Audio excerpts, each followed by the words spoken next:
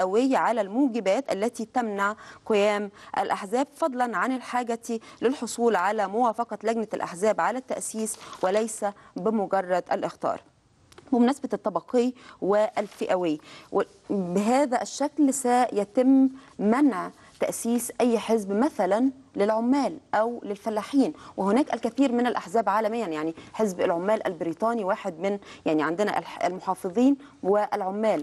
يتم تداول السلطة هي هي بينهما. هل ده سيكون مانع أو محد لحركة العمال؟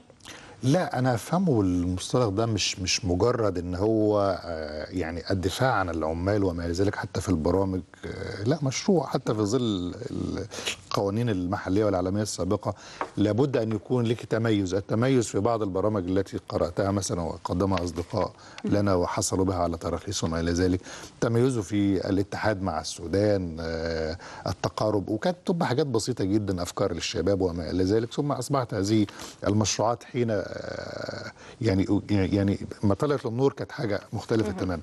لا يعني أنت ده ال- ال- المقصود أنه يتحيز بشكل آه، طائفي أو فئوي. إنما أن تدافع عن فئة معينة و- ولكن لك رأي ورؤية وبرامج في بقية ال- القضايا ده شيء مهم. لا. يعني هي ربما يعني أنا فهمتها بشكل مختلف آه، يعني كثير من الأحزاب ستجتمع على الدفاع عن حقوق المواطنين بشكل بالفعل. عام ولكن الدفاع- ربما لما يكون هناك فئة محددة. لا لا البرامج البرامج تتميز في فئة معينة تنطلق أو يكون الداعمين أكتر. من فئة معينة ده مشروع وده عالمي زي ما انت بتقولي ده موجود ولكن ما يكونش بس بادئ ومنتهي عند هذه الفئة. يعني ده اللي أقصده يعني.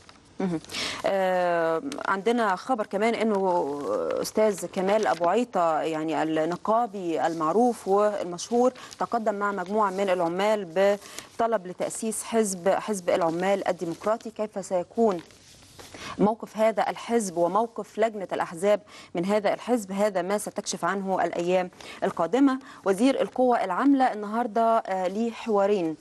حوار في جريدة آه، الشروق آه، صفحة سبعة وحوار في آه، جريدة الأخبار على ما أعتقد هنتأكد دلوقتي في جريدة الشروق السيد أحمد حسن البرعي وزير القوى العاملة يقول قانون الإضرابات يجرم الاعتداء على حرية العمل ويستهدف الاعتصامات التي تعطل الإنتاج.